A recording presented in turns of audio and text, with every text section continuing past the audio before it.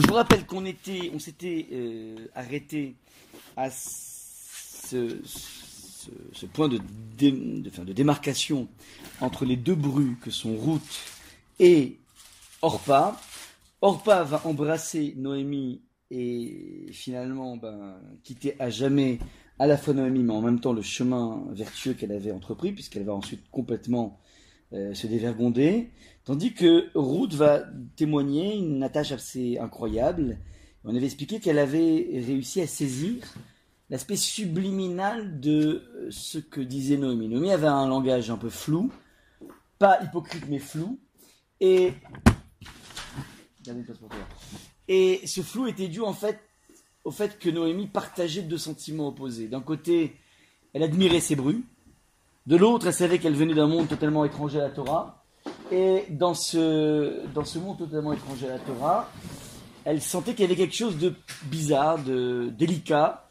Euh, et donc elle, entretenait avec elle des relations un petit peu floues, difficiles à, difficiles à dire, difficiles à aimer. Elles étaient grandioses, ces bruits, mais il reste toujours cet obstacle de la provenance. Elles viennent de Moab, c'est une nation maudite. Bref, chez Ruth, c'est complexe. En tout cas, au niveau du, de, de ce qu'elle fait émaner d'elle, il y a à la fois des marques de euh, venez, rapprochez-vous de moi, et en même temps, ben, allez-vous-en, je veux pas de vous.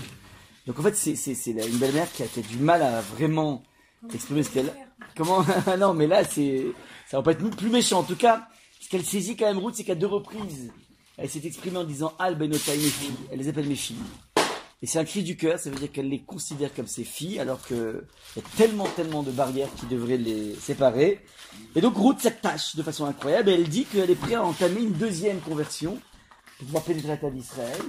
Et on avait expliqué que les premières choses qu'elle apprend, c'est juste, avant même de rentrer dans le cœur du sujet, Shabbat, euh, les familles, toutes les choses qui sont assez classiques, elle va leur dire déjà, première des choses, ben, une fille de chez nous, elle a rien à faire dans dans un cirque, les cirques où se faisaient les combats de gladiateurs, où euh, se mettait en place une exhibition de la, de la, de la, des choses dévergondées, ouais, exhibition de la mort, de, euh, de tout ce qui est du, domaine sexuel, et aussi une façon de prendre la vie à la légère. Ouais, le monde de, euh, des sarcasmes, de l'ironie, ça, ça n'a rien à voir avec ça. Première des choses, on vient bien définir le lieu dans lequel tu pourras t'épanouir. Et le danger, de côtoyer des gens qui ont tendance à, à briser les icônes, à, à, venir briser tout ce qui est du domaine du sacré. Ouais. Donc il y a ce premier point qui avait été mis en exergue. Et euh, voilà, donc on arrive vraiment à la fin du premier chapitre. Ouais. Verset numéro 17, je crois qu'on n'avait pas fait le verset numéro 17 Non, non tu es d'accord. Bah, cher Tamouti Amoud, donc vient dire notre et Ruth, là où tu mourras, je mourrai, elle dit à sa belle-mère, Vesham et Kaver, et c'est là-bas que je serai enterré. Koyase Amavet Yafrid ben Benecha, que l'éternel m'en fasse autant et plus si jamais je me sépare de toi autrement que par la mort. En deux mots, elle est prête à, tout pour rester totalement accrochée avec Noémie. À ce moment-là, Noémie voit une telle détermination, nous dit le texte, verset numéro 18, La qui cette île à l'échet. Elle a vu à quel point elle faisait des efforts, elle était décidée à l'échet ita, d'aller avec elle. Et là, donc, à ce moment-là, elle va arrêter, sans aller la repousser. Il y avait une, façon de la repousser qui était presque alarique, puisqu'en fait, il faut repousser à trois reprises celui qui veut se convertir, pour essayer de jauger si vraiment il est mu par une volonté sincère, ou bien c'est juste parce que c'est fun d'être fudge. Et donc là, en l'occurrence, elle a compris qu'en fait, la fille, elle est vraiment déterminée, elle est vraiment idéaliste, idéalisme jusqu'au bout. Ouais, et quitte à entamer une vie sans issue, puisqu'on avait dit bien que rester dans le judaïsme, c'est finalement se condamner à ne plus jamais pouvoir se marier. Bonjour. Et, euh, et euh, parce qu'en fait, elle a, elle a une image euh, qui lui colle à la peau, qui fait qu'en fait, elle est quand même une fille de Moabite. Et dans son premier mariage, le marié est tombé malade juste après le mariage. Donc les gens ont vite fait d'assimiler ça une sorte de malédiction. Ouais, c'est un mariage interdit, une malédiction. Donc euh, les gens sont, rentrent rapidement quand ça les arrange dans, le mysticisme. Et donc a priori, c'est une, euh, elle est foutue, elle est totalement foutue. Donc malgré ça, elle veut quand même épouser ce judaïsme. Le dit verset numéro 19. Elles allaient les deux, Adbo Anna Bethlehem, jusqu'à ce qu'elle arrive à Bethlehem, donc le fameux Bethlehem actuel. Elles arrivent, donc c'était leur point de provenance. Elles habitaient à Bethlehem, elles reviennent sur les lieux de départ. Vaï, et ce fut Kevoana Bethlehem. En arrivant à Bethlehem, va Teom Kolaïr. Le, la ville entière fut en émoi. Va Teom. C'était bouche bée. Kolaïr, toute la ville, allait haine sur elle. Va Tomarna Azot Naomi. C'est elle, Noémie. Voilà donc la question qui pouvait se deviner sur toutes les lèvres de toute la population. Donc je reprends le verset numéro 19. Vatelechna Shteem, elles allèrent toutes deux Adboana Bethléem jusqu'à arriver à Bethléem. Et ce fut, lorsqu'elles arrivèrent à Bethléem, va Théom Kolaïr, la, la ville était en émoi sur elle, et en s'exclamant, quoi, c'est elle, Noémie? À vous de jouer, question, des remarques à faire? Déjà, elles sont parties il y a plus de 10 ans. Au moins exactement, au moins 10 ans, Moins- ouais. Moins 10 ans. Et donc, C'est étonnant que tout le monde la, tout le monde la reconnaisse. quoi. tout le monde la reconnaît. Donc en 10 ans, apparemment, elle n'a pas trop pris de rides. On arrive à la reconnaître. Ok. Elle a eu des galères. mais- Malgré les galères, bon, bah, à la limite, c'est pas trop difficile. Il y a- tu as- J'ajoute 10 ans à un visage, c'est pas, Ouais, c'est vrai. pas la fin du monde. On reconnaît les traits, c'est-à-dire, tu vois bien. Toi, t'as pas vu depuis 25 ans, tu je sais pas pourquoi, il y a une physionomie qui, qui rejaillit. Tu voulais dire On la croyait morte. Comment On la croyait morte. Tu veux dire, tu es en train d'expliquer que c'est quoi l'étonnement, la stupéfaction Donc, tu veux donner un sens, c'est quoi cette stupéfaction Ok, qu'on la croyait morte. Ok. En fait, elles, elles les ont vus, c'est un pluriel, Ok, très bonne remarque. Apparemment, l'émoi, l'étonnement, la stupéfaction s'adresse à toutes deux, à Léhen, sur elle, mais l'exclamation est dirigée sur Noémie, pas sur Ruth. Donc apparemment, en fait, il y a une double stupéfaction.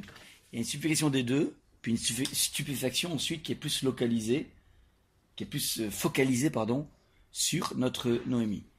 Ouais, Parce que Ruth, euh, à partir du moment où Naomi est rentrée, ouais. sa mission s'arrête. hein, et son rôle s'arrête là, et c'est pour ça qu'on la reconnaît pas. Le rôle de On la connaît pas. Bah, en fait, le- Ruth, c'est assez simple, on la connaît pas. Elle débarque de nulle part. euh, Ouais, enfin, Personne ne s'intéresse à elle, je veux dire. Ouais, peut-être qu'en fait, ouais, la focalisation sera su- que sur Noémie parce qu'on ne connaît qu'elle. Peut-être, on verra. Ok. Alors, elles sont vraiment collées, et c'est la même entité. Ou bien, en fait, on- elles n'ont fait qu'une. Alors, pas mal, pas mal. D'autant plus que, qu'est-ce que vous pouvez remarquer aussi, les questions simples, hein, basiques. Là, vous êtes déjà dans la réflexion euh, commentaire de texte, mais je voudrais vraiment des questions simples. Deux fois, euh, et elles sont Eh oui, Elles sont allées Ouais. jusqu'à ce qu'elles arrivent avec les frères, et ça a été quand elles sont venues avec les frères. ouais, donc c'est un peu bizarre ça. On a compris, on n'est pas amnésique. Ouais. Et. Ouais, ça veut dire, on a compris, elle revêt sur Bethléem. Et, et à part ça, déjà depuis le début, quand on retourne le verset, on savait qu'elles étaient parties de Moab pour aller à Bethléem. C'est un petit peu trop, trop insistant là. Ça veut dire, ouais, il y a, il y a ici l'insistance du lieu géographique qui est un peu bizarre, ouais, qui est un peu bizarre. Bon, on va voir. On C'est va les voir. femmes qui s'écrivent aussi. C'est les femmes.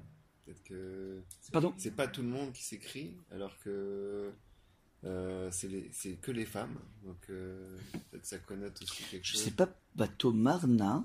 Ouais, plutôt féminin, d'accord. Ouais, donc les femmes s'expriment. Ouais, qu'est-ce qu'il y a de beaucoup plus féminin? Je sais pas pourquoi ils disent bateau Elle dire, peut-être Narna c'est un féminin, peut-être. Ouais, d'accord, ok, d'accord. Qu'est-ce qu'il y a de, ouais, qu'est-ce qu'il y a de féminin dans, le- dans la stupéfaction? Ok, ok, j'entends.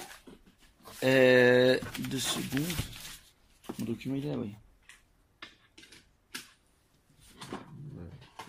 D'abord, il y a, il y a en générique masculin, il y a Vata homme Kolaï, et après Vata homme. Batéum, ouais, c'est un générique, ouais, c'est c'est tout le monde qui est stupéfait. Et l'exclamation, elle, elle est dans la bouche des filles, peut-être. Alors, il faut voir exactement.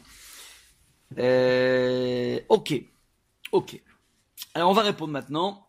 D'abord, première chose qu'on n'a pas, enfin, on l'a un petit peu effleuré, c'est Vatalerna Shteem. Elles allèrent toutes deux, ça veut dire, le texte a besoin de dire, on peut très bien dire Vatalerna, elles allèrent. Ouais. Forcément, elles sont géographiquement toutes les deux, une à côté de l'autre. Puis on a vu qu'elles partaient ensemble. Ouais, donc en fait, apparemment, elles sont ensemble. Pourquoi je t'aime En fait, pour nous dire que finalement, ce qui a précédé, ouais, juste avant, c'était quoi le juste avant de ça? Qu'est-ce qu'on a vu juste avant Qu'elles restent ensemble. Que Ruth Ouais, que Ruth ouais. était dans une détermination. Cette détermination de Ruth la met exactement sur le même piédestal que Noémie. C'est tu prends la femme la plus, Noémie, la plus grande de son époque en termes de judaïsme, en termes de moralité, en termes de ce que tu veux. Et eh ben, Ruth arrive à se hisser à ce niveau ultime de grandeur, ouais, alors qu'elle vient d'une nation complètement maudite. Ouais. C'est un peu normal parce que quelque part elle a éduqué. On peut pas dire qu'elle a éduqué. pour l'instant, c'est que de la volonté. Elle a, elle était, elle, elle a côtoyé Noémie, peut-être qu'elle a profité de Noémie, mais t'as beau côtoyer quelqu'un de grand, ça veut dire que tu vas être grand. Elle, a joué le rôle de mère. Peut-être, mais, mais une chose est sûre, c'est que la, la fille a joué vraiment le rôle de la fille. Oui. On connaît peu de belles-mères qui ont la faculté à ce point d'éduquer leur belle-fille. Bizarre. En général, au contraire, il y a- il y, a une réticence naturelle. Donc là, il y a quelque chose qui est assez incroyable, c'est que Ruth est d'un coup hissée à un niveau complètement incroyable. Elle brûle toutes les étapes. Ouais, normalement, c'est-à-dire, on devrait, elle devrait, normalement euh, maximum attraper une place de strapantin, maximum. Tu vois, elle peut pas être comme ça aux premières loges. Et là, d'un coup, elle est aux premières loges. Donc ça, c'est le, c'est le, le première des choses. Adboana jusqu'à ce qu'elles arrivent Bethléem. On arrive donc à Bethléem. Et lui dit le texte vaillit, et ce fut. Kevoana Bethléem, alors qu'elles arrivèrent donc à Bethléem, donc on a besoin de faire une sorte d'arrêt sur image. Cette redondance est là pour mettre un arrêt sur image. Et on vient nous dire, va tes hommes colérer toute la ville était en émoi. Je pose une question. Comment est-ce possible que toute la ville soit en émoi? Qu'il y ait des gens qui les rencontrent qui... Ok, mais pourquoi toute la ville? Il n'y avait pas Twitter, il n'y avait pas WhatsApp pour... euh, Parce qu'elle avait un statut, je crois, de. C'était la Quand femme même de- de. Mais comment- la femme du- Mais comment, au- à l'instant T où elles arrivent, tout le monde est réuni Ah, c'est ça, c'est- ouais, c'est pas ça. Il n'y a, pas- y a pas WhatsApp, il n'y a pas Twitter, donc tu peux pas, tu peux pas, tu peux pas faire le scoop. Je crois que c'était c'était pas Shavuot. Alors, pas mal, exactement. On y arrive. Pour qu'il y ait toute la ville réunie, de deux choses l'une. Soit il y a une fête, et en fait, effectivement, c'est l'époque de Shavuot, au moment où toute la ville était en procession pour aller couper le, les épis pour le Homer, ouais, comme on a vu. Donc, il y avait une réunion ville. Et j'ai envie de dire, c'est vraiment manque de peau pour elle, parce que, évidemment, quand elle va revenir, Noémie, elle a évidemment envie de raser les murs. Parce que quand tu étais la femme la plus importante de l'époque, la plus riche de l'époque, et que tu reviens nu-pied, t'as même pas de quoi t'acheter des, collants, et t'as même pas de quoi t'acheter des, des sabots et des crocs pour marcher sur le chemin, donc tu te tapes toutes les aspérités du chemin. Ouais, a priori, t'as pas trop envie de montrer cette image. C'est une image trop violente, c'est un précipice trop violent. Donc en fait, il est évident qu'elles ont tout fait pour, pour raser les murs. Et manque de peau, elles arrivent le jour, ou alors soit il y a tout le monde à cause de procession du Homer, soit nous dit le Midrash, c'était le moment où tout le monde était réuni, elles arrivent à l'entrée de la ville, et qu'est-ce qu'il y avait en général dans les entrées de ville? Le Marché. marché, marché. Alors le marché ou bien? Le forum. Non, mais tu vois dans tous les villages, euh, je suis allé dans les villages vraiment fran franchouillards.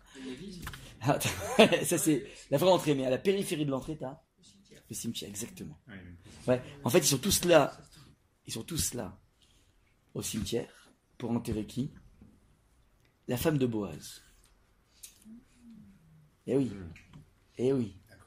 Et c'est comme ça que petit à petit, Akashboro est en train de préparer le terrain.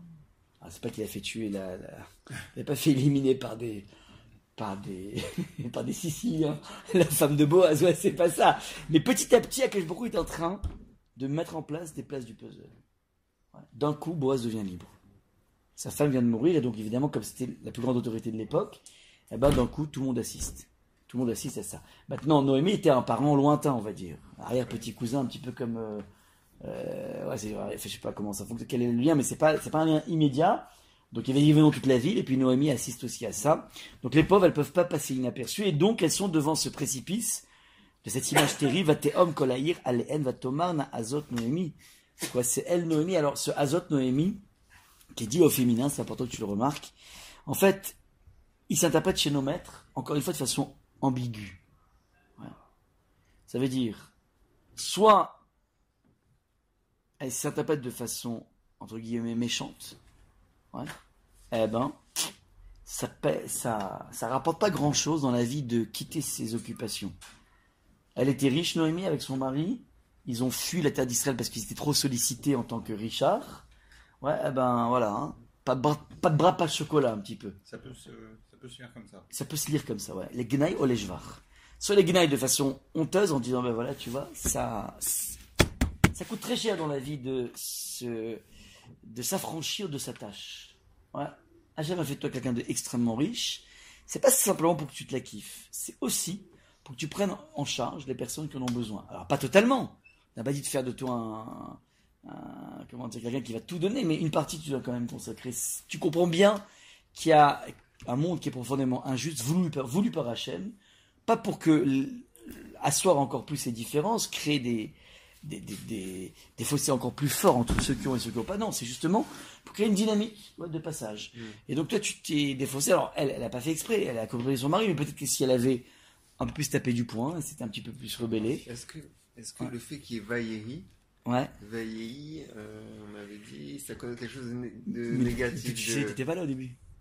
Comment D'où tu sais, t'étais pas là au début. Non, on avait. Enfin, Vaïehi dans. Ouais, tout à fait. C'est vrai, mais ce qui m'étonne, c'est que t'étais pas là au début. C'était Une le premier mot. introduction à quelque Ouais. chose de pas, pas terrible qui va arriver. Exactement. Le vailli introduit toujours, nous dit le texte, tout- nous dit le texte, introduit toujours quelque chose de d'insipide, de négatif. Ouais, c'est un grand débat. Enfin, c'est une grande, c'est une clé de lecture de nos maîtres qui ont googlisé tout le texte biblique et se sont rendus compte qu'il y a vailli, il y a toujours un problème. Alors là, on va essayer de déceler quel est le problème qui va gérer d'ici. Un des premiers problèmes, c'est qu'on a deux femmes illustres qui vont être réduites à la men- mendicité. Elles n'ont comme ressource que la possibilité, même si elles récupèrent, si tu veux, leurs appartements, puisqu'elles arrivent après la bataille de la, de la moisson, enfin de la, de la, de la zria, enfin de la, de la culture, donc jusqu'à l'année prochaine, elles vont être obligées d'être réduites à la mendicité, à la sous-populaire. Et il y a en tant que tel déjà au moins cette image qu'il y a quelque chose de profondément brutal de voir qu'une famille immensément riche comme Noémie est réduite finalement à la sous-populaire. Donc ça, ça va être un des, une, une des lectures possibles. Donc elles arrivent avec les rêves, Vatéam Kolaïr, Valénev, Aléel, Vatomana Azotnomi. Donc première lecture négative, deuxième lecture, une lecture positive en disant, wow, c'est pas possible. C'est pas possible que il existe un personnage féminin Noémie qui en fin de compte ressemble à Job. On connaît un personnage de Job qui a tout perdu dans sa vie. Mm. On est complètement perplexe de voir que finalement ça peut aussi arriver à une femme. Parce que Job, à la limite, c'est masculin, il a peut-être plus d'énergie, plus de force. Mais là, on est en train de, mettre en exergue le Job au niveau féminin, c'est Noémie. À la différence, et c'est en fait qui- ça qui est la précipitation, c'est qu'à la fin du livre de Job, bon, il y a, beau- il y a 50 chapitres, hein, c'est compliqué à lire, mais à la fin, il récupère tout. Sauf les morts, mais en tout cas, il récupère tout. Elle, elle revient, elle récupère rien du tout. Elle est dans la mendicité ça, C'est-à-dire qu'il n'y a même pas d'happy end. Il y a, on pourrait dire, un happy end chez Job qu'on retrouve pas chez Noémie. Et donc là, les dames sont en émoi. Sont en émoi total, c'est pas possible ce qui se passe. Bon. Vatomer aléen altikrena li Naomi. Donc les gens disent mais c'est toi Noémie, c'est toi Noémie. Réponse arrêtez de m'appeler Noémie. Noémie veut dire agréable. Kerena li Mara. Appelez-moi Mara, veut dire amertume. Ouais, Mara vient de comme le maror qui veut dire l'amertume. Qui hemar shakaili meod, car l'Éternel m'a abreuvé d'amertume. Alors là, on est dans une sorte de constat d'une femme qui est presque dans une phase de vidouille, à la veille de sa mort, qui est en train de dire, ben voilà, finalement, je fais le bilan des courses et je n'ai, j'ai eu des moments peut-être heureux dans ma vie, mais finalement, ça fait dix ans que je ne m'abreuve que d'amertume. Elle a perdu son mari, elle a perdu ses deux fils, qui sont sortis sans enfants, donc elle n'a même pas de progéniture. Et il ne lui reste que la moitié de ses brus, qui sont a priori des femmes condamnées, qui sont dans une voie sans issue dans le judaïsme. Donc elle peut être dans ce qu'on appelle le bilan de sa vie. Qui est Mar Shakai Limeod Akash Baruch Hu. Ouais, c'est intéressant, c'est le nom de Shakai. Shakai en hébreu, c'est celui qui met une limite à une expansion. Elle a pu vivre des années de brachot, et puis là maintenant elle sent un monde à butoir. Un monde de butoir. Ouais. Ani Melea Halarti. Donc regardez un petit peu, bon, c'est assez triste. Hein. Ani Melea Halarti. Je suis partie pleine. Verekam Hashiveni. Et je reviens toute vide. Hachem, lama tikrenali naami, euh, euh, verekam hashivani Hachem, et c'est Hachem m'a ramené tout, tout hashivani, euh, tout, tout vide, rek ça veut dire vide, et c'est intéressant, c'est le nom d'Hachem qui est le nom de miséricorde. C'est-à-dire n'est pas dans une mode de elle a une certaine lucidité par rapport à ça. J'étais pleine, je suis vide maintenant, mais elle le vide de façon assez lucide. Lama tikrenali Noémie, arrêtez de m'appeler Noémie, va Hachem anabi, va shakai erali. Tandis que Hachem m'a humilié, ouais, il m'a fait du mal. Anna, il m'a fait, souffrir, pardon. Anna, c'est il m'a fait souffrir. Mais Shakai Erali, et le Tout-Puissant, m'a fait du mal. Donc, Noémie n'est pas tout à fait le, le- l'adjectif, en tout cas le nom qui me sied le, à merveille. Ce qui me sied à merveille, c'est beaucoup plus marin. Vatachov, Noémie, donc bilan des courses, fin du premier Elle dit chapitre. la même chose dans le 20 et dans le 21, mais elle n'utilise pas le même nom d'Hachem. Exactement. Ça veut dire qu'en fait, pardon, ouais. On est loin de Job. pourquoi on nom de Job? Accepté ça comme une épreuve. C'est pas, on voit, c'est pas une plainte, c'est un constat. Ça veut dire, voilà, je suis vide, j'ai plus rien. Et je n'ai que la souffrance dans ma vie. Et pourtant, elle est sortie de cette déprime. C'est plus dans la phase déprime. Elle comme, elle se lève, elle décide d'aller de l'avant, mais elle n'a plus aucune munition. Ni financière, ni familiale, ni rien du tout. L'amertume, c'est quand même quelque chose de très péjoratif. Oui, mais c'est inconstant, ça veut dire, tu veux qu'elle, tu veux qu'elle sourie à la vie avec euh, ce qui est arrivé. Elle construit la vie, mais elle construit avec amertume. Donc c'est pas, c'est pas une sorte de, comment dire, de, de rébellion face à. Non, face à- c'est pas rébellion. Chaque cas, elle a un respect encore. Hachem m'a fait souffrir. Maintenant, et on va dire c'est c'est beaucoup moins euh, violent que ce qu'on voit chez Yov. Yov, quand il arrive les malheurs, il est en train de maudire la nuit où son père a rencontré sa mère, il a été conçu. Il maudit cette nuit, donc il est dans la malédiction, Yov. Il ne maudit rien du tout. Ouais, on est quand même loin de tout est pour le bien. Oui, Panglos. De Panglos, tu veux dire? Ouais, de euh, Pangloss. Ouais, ouais, ouais, ouais, enfin de, de Calacavetava, ouais. Alors, ouais, euh, euh, c'est vrai, c'est vrai, c'est un constat lucide. Constat- constat, ouais. On va voir maintenant, verset numéro 22 qui va être une introduction du chapitre 2. Vatachov Noémie, donc reviennent Noémie Vérout, à Moabia, la Moabite, ou bien Kalata Sabru, Imma avec elle. Donc ça c'est le résumé de tout ce qu'on vient de voir en un chapitre. ouais. Donc Vatachov, elle revient, Noémie Vérout, à Moabia, Ruth la Moabite, c'est très important de dire qu'elle est Moabite. Kalata Sabru, Imma avec elle. Imma, dont on avait expliqué, Imma, c'est un, c'est une, euh, c'est-à-dire qu'elles sont liées l'une à l'autre, c'est pas c'est pas avec, comme tu dirais, avec ta secrétaire, mais c'est avec ton associé. À Shava des Moav qui reviennent, ouais, des plaines de Moav. Ve Emma Baou Bethlehem, et elles arrivent à Bethlehem. Bitrilat Ketzir Seorim, au début de la moisson des Seorim, des, des orges, ça veut dire elles arrivent à peu près à cette époque de Shav. Alors, C'est euh, bah, C'est le début du Homer. non, Ketzir Seorim, C'est l'orge. ouais, c'est l'orge, exactement. c'est le début de Pessah. C'est le deuxième. Exactement. Elles arrivent à ce moment où on commence, Pessah, pas ouais, on commence à, ouais, exactement. Alors ça pouvait être aussi lié à Pessah, le rassemblement. Attends, une seconde. La moisson, la moisson. Ouais, mais la moisson de la moisson de l'orge, elle commence à Pessah. Ouais. Alors le point ici, tu as raison. à- Mais en tout cas, ça veut dire au moins, comme je vous l'ai dit tout à l'heure, ça veut dire au moins dire. Oui, non, mais ça veut aussi au moins dire que même si elles récupèrent leur, euh, leur terre, elles sont foutues. Parce qu'elles ont rien planté. Ça fait 10 ans qu'elles sont pas là. Ah Ça veut dire qu'elles sont condamnées à la, à la sous-populaire. Maintenant, autre point important. Bah, Tachov Noémi Verut Amoabia. On répète deux fois Ashava, Ashava. Revenir, revenir. Le premier, c'est géographique. Le deuxième, c'est Tchouva. Forcément. Donc, elles sont en train de revenir des plaines de Moab. Ouais. Ashava, non, pardon. Ashava, le deuxième Ashava, c'est, c'est Ruth, c'est pas Ashavim. Donc, je répète. Elles reviennent, Noémie et Ruth, ensemble. Ruth, qui est une Moabite, qui est sa bru, et qui revient des plaines de Moab. On veut mettre en exergue ici, et c'est là en fait que ça va jouer, que même si la Torah a bien stipulé que l'Oyavo Moab Hashem, qu'un Moabite ne peut pas pénétrer la Keila, elle, elle revient des plaines de Moab parce qu'elle elle est au féminin. Ça veut dire que là, on est en train de statuer le fait que même si la Torah met de côté les Moabites, les Moabites masculins et pas Ma- Moabites féminins. Ouais. Voilà donc un petit peu le, la phrase introductive du chapitre 2. Je vous donne le chapitre 2, on, on essaie d'avancer ça. Ouais, distribuer.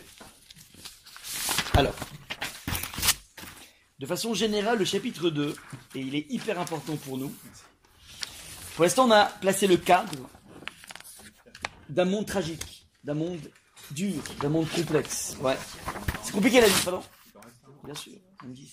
Il y en a deux. Il y en a Il y en a plein. Ok. Alors là, ce qui est tout à fait intéressant, c'est que le chapitre 2 va placer le cadre de l'interférence d'Akadosh Baoru d'Hachem, mais non pas, comme on a pu le voir dans la sortie d'Égypte, pendant les plaies, de façon outrecuidante, de façon majestueuse, de façon colossale, de façon imposante. On va voir comment Akadosh Baruch s'immisce dans la vie d'un individu, mais non pas de façon exceptionnelle, mais dans son métro Boulot Dodo. C'est le texte, c'est le titre que j'ai donné pour le cours. L'émission d'Hachem dans la vie métro Boulot Dodo. C'est un petit peu ça l'idée. Et c'est là que se loge toute la dimension du bitachon, c'est la confiance en Hachem. Non pas dans les contrôles fiscaux, dans les maladies graves, dans les trucs complexes de la vie. Voir comment Hachem s'immisce chez un individu dans le quotidien. Et plus tu ouvres tes yeux, plus tu, te rends compte le nombre de clins d'œil que Baruch te fait. Et si t'as pas besoin d'aller euh, à la Neila avec un chazan de folie pour commencer à sentir la présence de Dieu, ni dans les plaines, le plateau du Katmandou pour essayer d'envisager la, la grandeur d'Akadosh Baruch ce qui est aussi un moyen d'envisager la grandeur, tu peux le faire vraiment dans le monde le plus trivial qui existe. Ça, c'est un petit peu la trame essentielle du chapitre 2. Ouais. Qui est pas un chapitre très, bah, 23 vies, 23 psukim, c'est pas énorme. On va voir un petit peu comment, donc, petit à petit, Akadosh Baruch Hu tisse sa toile de façon extrêmement subtile. Nous dit le texte. Ou Noémie, Moda, les Isha. Donc, Noémie se connaissait un rapport, un parent proche, les Isha à son mari. Ish Gibor Cha'il, un homme Gibor Cha'il, un homme puissant, Cha'il, riche. Mais Mishpachat Elimelech, de la famille de Elimelech, donc ce fameux mari défunt, ou Shmo Boaz, et son nom s'appelait Boaz. Ok Alors, juste au niveau mishpartologie. Donc, vous avez compris hein, maintenant que, premier des points, on met en exergue Boaz, et vous savez très bien qu'à la fin, chapitre 4, il y aura un mariage entre Ruth et Boaz. Maintenant, ce mariage n'est pas, si tu veux, on peut pas dire qu'Hachem a fait du forcing pour ce mariage. C'est ça qui va être intéressant. Voilà, beaucoup, des fois, il précipite les choses. Il a précipité la sortie d'Égypte. On aurait dû rester encore euh, 110 ans. Euh, pardon, 190 ans, excusez-moi. Bah, Hachem précipite parce qu'il faut intervenir à des moments. Mais là, on peut dire qu'à chaque instant, on aurait pu totalement rater le coche. En fait, il faut bien lire le texte en comprenant que c'est pas du. Il n'y a rien qui est de l'ordre de Walt Disney dans cette rencontre entre Boaz et Ruth. Pour l'instant, première des choses, on a, on peut dire que Noémie a un parent proche qui s'appelle Boaz. Mais c'est de la famille de Elimena. Si vous voulez con- connaître la mishpartologie, alors, Narshon ben Aminadav, qui était le fils de, pardon, qui était, pas fils, qui était un descendant de Yehuda. Ouais. Celui qui a, qui s'est le jeté dans la mer. Ouais. Maintenant, il avait trois fils. Un qui s'appelait Shalmon. Shalmon est le père de Boaz. Le deuxième s'appelait Plouné Almouni, on le verra, Plouné ça veut dire quelqu'un. Ouais, quelqu'un. Un inconnu au bataillon. Et le troisième, c'était le père de Noémie. Donc en fait, en deux mots, Noémie et Boaz étaient cousins germains. Ils avaient deux pères qui étaient chacun frères, fils de Narshon. Bon. Des gens illustres, ça c'est donc le premier point. Elle avait donc un. C'est pas un parent de. Alors pourquoi C'est bizarre, pourquoi j'ai marqué ça, excusez-moi. Père de Noémie et de Elimelech.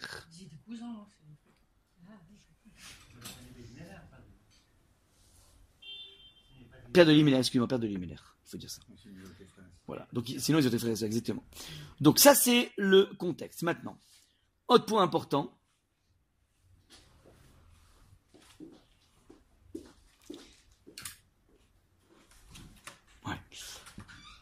Il est le frère, il est le cousin, donc il est, cousin germain de Noémie. Et ça va nous. Enfin, le, le commentaire explique une chose intéressante c'est qu'elles, elles arrivent et lui ne les accueille pas. C'est un cousin qui est milliardaire et il voit sa cousine qui arrive et qui n'a pas de truc. Et on sait que lui, il n'a pas fauté, donc il est resté, en tant que milliardaire, il est resté en Israël. Boaz, il est. C'est la femme de son c'est- la, c'est pardon, la, la femme de son cousin, ouais. Il devrait les prendre en charge, a priori. Pourquoi il les prend en charge? Alors, ça qui explique, qui accrédite l'idée qu'il était en deuil, donc il ne peut pas s'occuper de quiconque. Il était en deuil par, de, sa, de sa femme. Ça, c'est le premier point. Maintenant, deuxième point important, ouais, le, le, ça. Ouais. Ish Gibor. Ça vous fait penser à quoi, Ish Gibor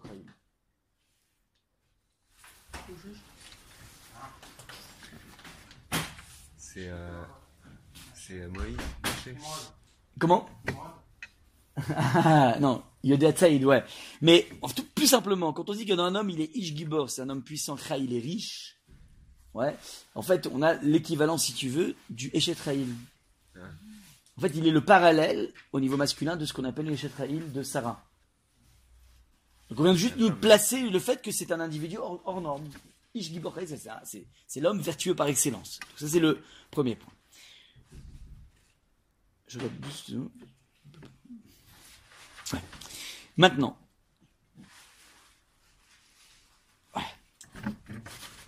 Ce qu'il faut bien saisir aussi pour, à titre de trame par rapport à tout le chapitre 2, c'est ce que vont dire Khazal.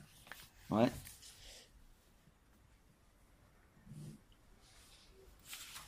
C'est que de la même façon que Akadosh Hu va se camoufler dans la trivialité de la vie, derrière tous ces actes triviaux qu'on va voir et de la part de Ruth et de la part de Boaz, qui ne sont pas des choses fantastiques, ouais, ce pas des actes absolument miraculeux, en fin de compte, ce sont les actes qui vont être le catalyseur de l'interférence d'Akadosh Baruch Hu subtile.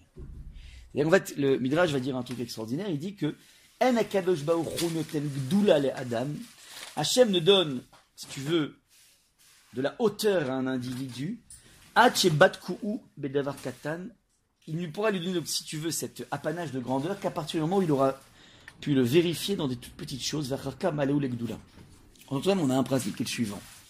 Hachem ne va ériger un individu à titre de grand leader juif qu'à partir du moment où cette même personne aura été capable de faire non pas des choses grandioses, mais des choses toutes petites. C'est ça en fait l'apanage des, des, géants de la Torah, en tout cas à chaque fois. Quand on assiste à ces espédimes à leur, euh, à leur euh, funèbre, en fait tu vois en fait que c'est pas tant leur connaissance, leur puissance, leur... c'est pas ça qui, qui va intriguer les gens, c'est la faculté d'être là dans les petites choses de la vie. Moi, je me rappelle, j'avais assisté à la, à la semaine de Rafchar. Donc, j'étais à l'époque, j'habitais à Nébrac, et donc j'ai assisté à sa, je suis allé donc à l'enterrement, mais surtout j'ai assisté pendant une semaine après, on avait toutes les plus grands rabbins du monde qui sont venus à Nébrac pour parler de Rafchar. C'est incroyable, très peu ont parlé de son génie au niveau Torah. Tous ont parlé de leur faculté de s'occuper en permanence, de s'interrompre dans son étude pour s'occuper des veuves, des orphelins. C'est ça sa vie était dérangé en permanence et à chaque fois, la vie était basée là-dessus. Je me rappelle une, une histoire assez magnifique, je vous la donne juste pour montrer un petit peu comment ces gens géants sont capables de faire des choses qui extérieurement ne sont pas héroïques et qui sont pourtant l'essentiel de, de, de, ce qui va les élever à ce niveau gigantesque. Il y avait, euh, le premier dans lequel j'étais, il y avait un raf qui m'avait raconté que pendant les, pendant les vacances, ce qu'il faisait, c'est qu'il allait dans des coins perdus d'Israël, et il essayait de chauffer les parents à mettre leurs enfants dans des écoles où il y avait un minimum de contenu Torah. Savez qu'il y avait une gauche, qui, la gauche israélienne extrêmement virulente contre, contre la Torah.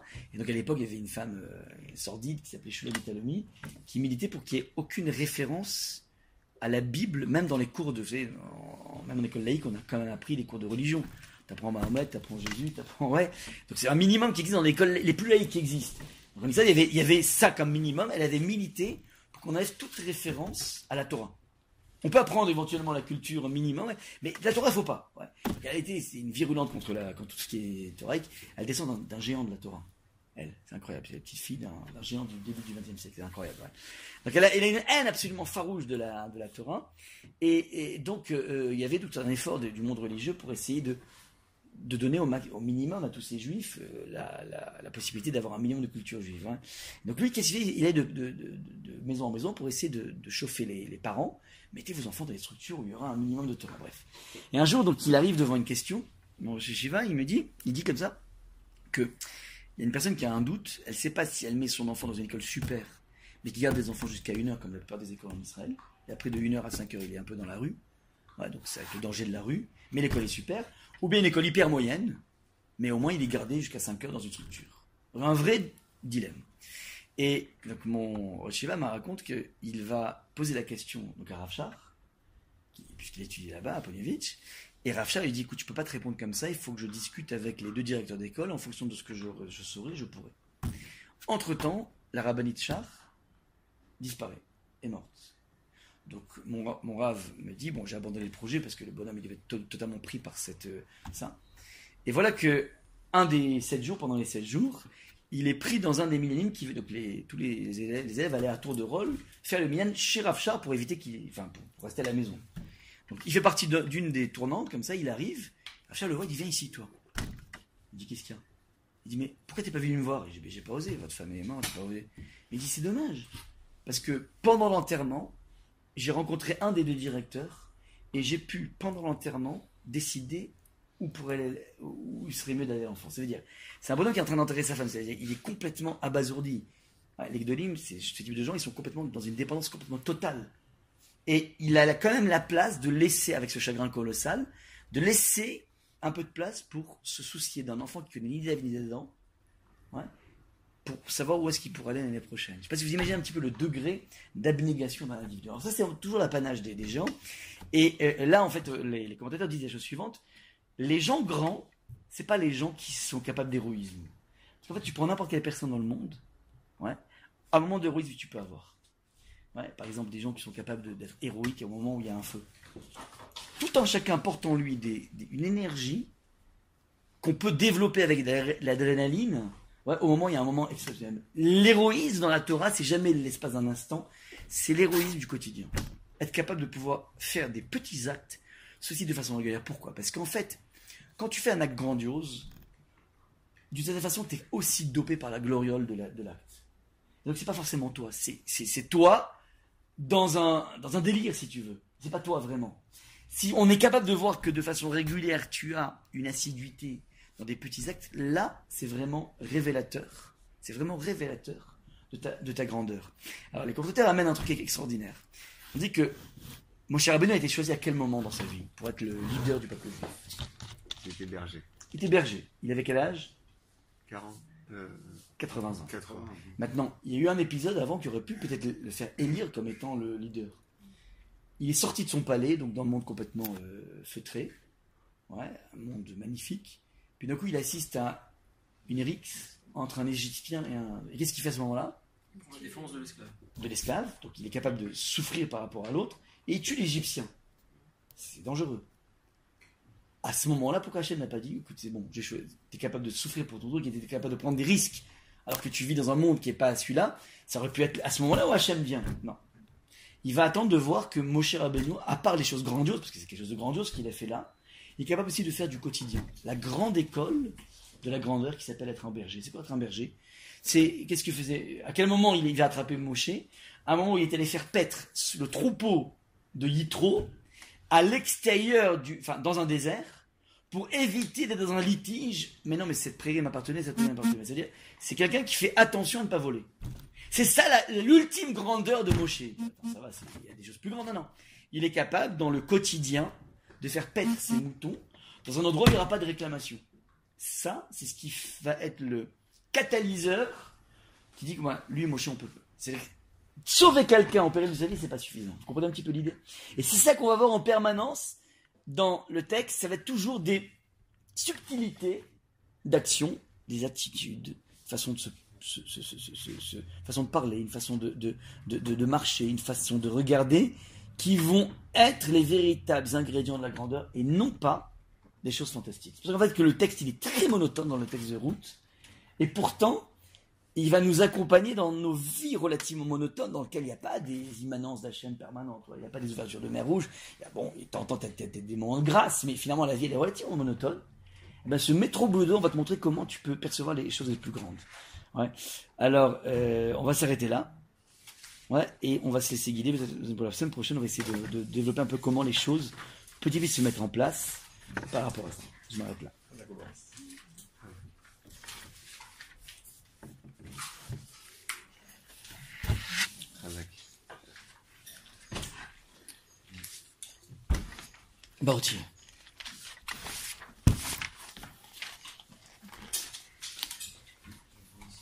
Que Vous avez dit qu'il y avait, oui, des baguettes?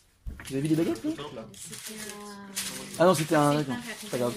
Bah, hier, il a fait- oublié, la semaine dernière, il a oublié le riz, cette semaine, il a oublié les baguettes. Ah, il y a des manquements. Ah, les baguettes de. Baguette, non. Ah non, je je panier. Ah oui, baguette de pain, d'accord, oui. Non, c'est d'accord. Je comprends maintenant. Pas Oui, je, je, je dépends comme des baguettes, du coup, non. On va manger normalement. Hein.